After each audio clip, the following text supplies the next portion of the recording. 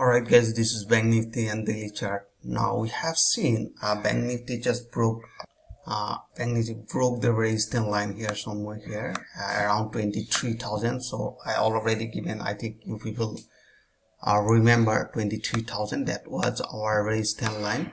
So finally we have seen yesterday price just broke that area. And I can see Bank Nifty was running in this range. That was uh, actual market range and we are expecting if price break this level so next the target will be somewhere here. Let me draw by connecting horizontal line. Just a minute. Yeah. Now here you can see there are 200 exponential moving average exactly around 23,900 next target is 23,900 uh, let's say 900 that is our resistance line somewhere here. Here you can see. There is a 200 exponential moving average. So let's check it.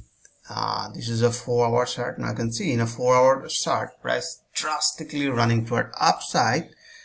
And here you can see price are targeting toward moving average uh, sorry uh, level of 23,900 that is our target. Now question is that can I go for buy right now my answer is no i'm not looking for buy right now. So we need a pullback. So let's check it. H1 chart uh, right now. Uh, let me confirm this moving average. Here you can see this is uh, six. Right now price is surfing six moving average in h1 chart.